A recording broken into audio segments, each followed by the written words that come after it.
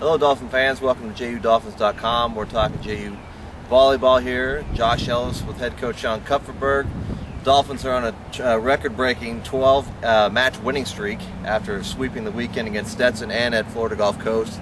That Gulf Coast match went uh, five uh, five sets, making it a uh, 3-0 record this year in five-set matches, as opposed to last year when the Dolphins were 0-5. Also in that match, a record-breaking session by Shelly Walworth, the senior libero, goes for 46, which is the, now a match single record for JU. Also, Brooke Singleton had her career day with 25 kills along with 16 digs. That got her Player of the Week honors. The second time this year that JU has had two players named Player of the Week. That hasn't happened since 2002. So, Coach, let's talk about that right now.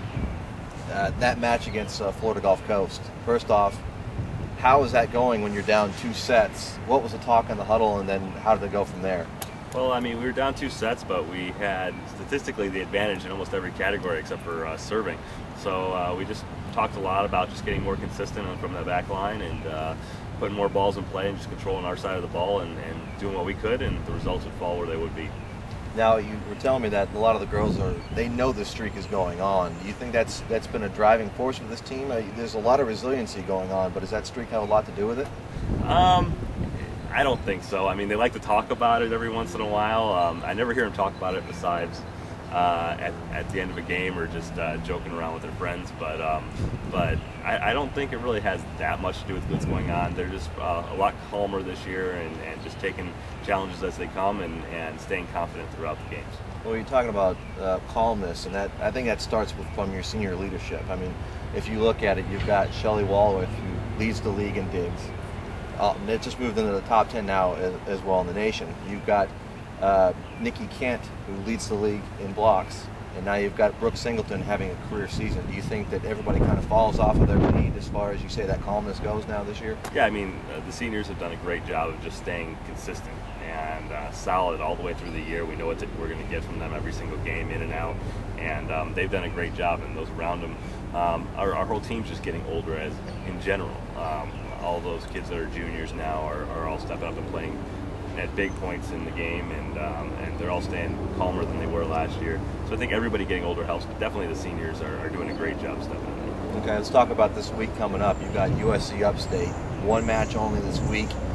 Talk about Upstate a little bit, and also talk about just having one match on the schedule this week to kind of help out with the health of your team. Yeah, um, Upstate, uh, they're a little bit down there in the schedule, but they've uh, stepped up lately. They took a, a, match off of East Tennessee State and gave us all we could handle here at home.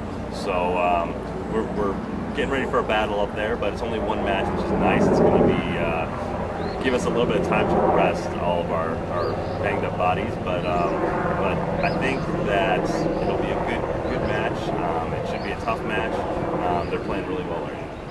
Okay, and then of course you've got that one road match, and then next week comes down with Belmont and Lipscomb. What do you do as far as the team goes, not looking past this weekend? Because as you said, upstate, it, at anybody's place, you never know what's going to happen. Yeah, I mean Belmont Lipscomb's so far away right now. It's two weeks away. We we've learned this season we don't even know who's going to be on the court in two weeks. So um, so we're just waiting to see. We're taking one week at a time. Um, we got upstate right now, and, and we're planning for them. We're doing film on them, and, and just trying to make sure we we keep our eye on the ball and not not look past anybody. Okay, coach. Thank you as always. Good luck this week, fans. This match uh, this week against Upstate will be on Saturday at three o'clock.